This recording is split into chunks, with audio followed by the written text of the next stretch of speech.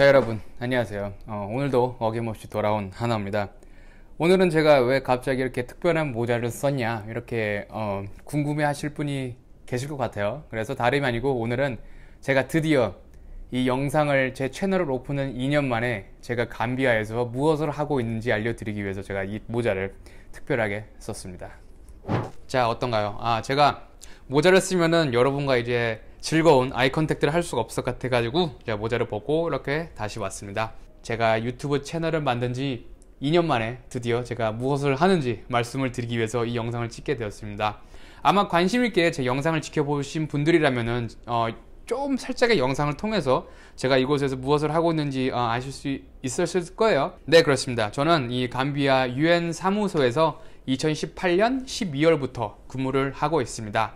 어, 감비아 내에 여러 가지 다양한 유엔 기구들이 있어요. 뭐 UNDP, UNICEF, WFP 뭐 여러 가지가 있는데 제가 있는 곳은 UNRCO라고 UN Resident Coordinators Office에 근무하고 있습니다. 그래서 제 역할은 Peace and Development Specialist로서 어, 말이 떨어져. Peace and Development Specialist로서 제 슈퍼바이저인 Peace and Development Advisor과 함께 감비아에서 PDA 팀을 이루고 있습니다. 제가 주로 하는 업무는 뭐 정부들을 support를 해서 이곳에서 새로운 이제 민주주의의 발판을 만들고 좀 더 건강하게 어, 민주주의를 만들기 위해서 역할을 하고 있고 또 감비아 내에 있는 여러 가지 유엔 기구들을 조율을 하면서 코디네이션 역할을 담당하고 있습니다. 그래서 저는 원래 감비아에 어, 2018년 11월에 오기로 되어 있었어요. 그래서 2018년 11월 초에 비행기 표까지 다 샀는데 제가 차 사고가 좀 크게 났어요. 어, 운전을 하는데 뒤에 차량이 과속을 하는 바람에 저를 박았거든요.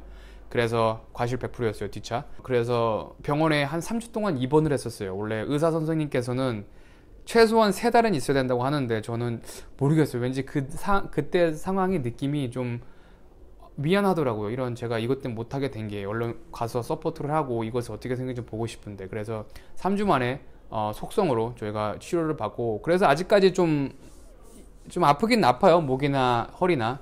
그럼에도 불구하고 이제 3주 만에 퇴원을 해서 감비아에 12월에 도착을 하게 되었습니다.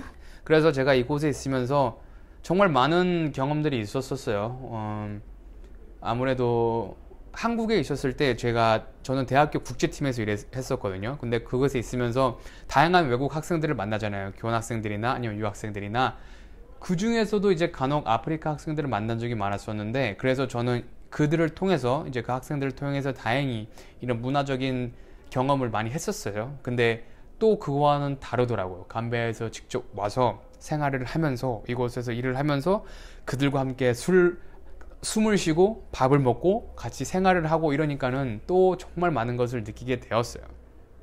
음, 아무래도 제가 이곳에 있으면서 어, 하는 일들이 굉장히 많아요. 어, UN 기구가 많이 있긴 하지만 그래도 감비아 같은 작은 나라에는 주로 스태프 한 명이 여러 가지 일을 다행히 많이 당담하기도 해요. 그래서 저 같은 경우도 주로 하는 일은 뭐 감비아의 정치적인 현황, 갈등들이 있는 요소가 있으면은 제가 항상 그거를 모니터링 하면서 어떻게 하면은 이런 갈등의 불씨, 씨앗을, 씨앗을 먼저 발견을 해서 되게 미니마이징 하는지 그런 것들을 알아보고 있는 업무를 하고 있긴 있는데 그럼에도 불구하고 다양하게 또 업무를 많이 하고 있어요. 뭐 가장 간단한 걸로는 뭐 제가 카메라도 있고 영상 기술이 좀 있으니까는 뭐 사진도 찍어주고 뭐 편집도 해주고 아니면은 뭐 파워포인트나 이런 거 같은 거 디자인 같은 것도 한번 고쳐주고 뭐 제 동료들이 저한테 물어보면은 그런 것도 다양하게 하고 있어요. 그래서 그렇게 하다 보니까 어느덧 시간이 벌써 2년이라는 시간이 넘게 지났네요.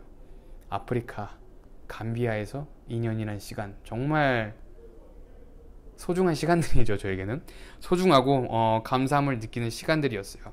어, 아무래도 지금 영상 비디오는 제가 말을 많이 한 것 같으니까는 다음번에 혹시나 영상에서 제가 하는 업무에 대해서 아니면은 뭐 어떻게 일을 이 일을 하게 되었는지 어떤 업무를 하는지 아니면은 유엔이 뭔지 유엔은 대체 뭐 하는 겁니까? 라는 것이 궁금하신 분들은 이곳에 댓글을 남겨주세요. 그러면 제가 정말 숨김없이 모든 걸 다 오픈해서 알려드리도록 하겠습니다. 어, 여러분 항상 건강하시고 좋은 일들만 가득하시고 항상 행복하시길 바라겠습니다. 감사합니다.